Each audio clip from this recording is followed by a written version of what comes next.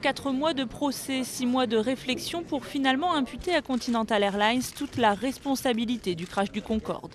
Pour le tribunal correctionnel de Pontoise, c'est bien un DC-10 de la compagnie américaine qui a déclenché la catastrophe en perdant une lamelle métallique sur la piste de décollage du Concorde.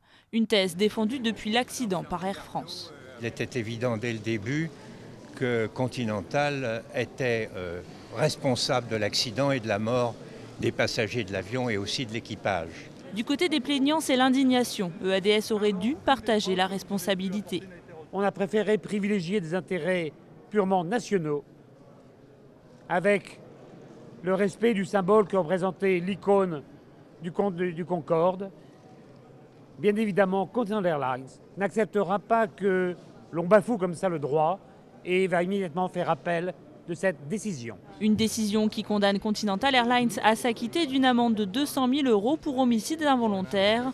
Elle devra également verser à Air France 1 million d'euros de dommages et intérêts pour préjudice moral et atteinte à l'image.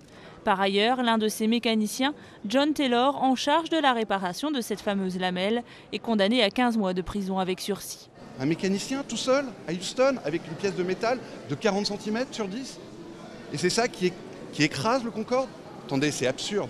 Côté français, les trois prévenus anciens hauts responsables de l'aéronautique ont tous été relaxés.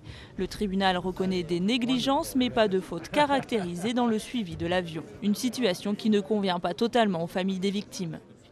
Je ne comprends pas comment on peut considérer qu'un chaudronnier a commis une faute caractérisée en ne prévoyant pas les conséquences de l'éclatement d'un pneu, tandis que le constructeur et l'administration aurait commis une simple négligence en ne prévoyant pas les conséquences catastrophiques d'un incendie. Le 25 juillet 2000, le crash du Concorde avait fait 113 morts, essentiellement des Allemands. Dix ans après la catastrophe, très peu de familles de victimes s'étaient déplacées pour assister à ce jugement.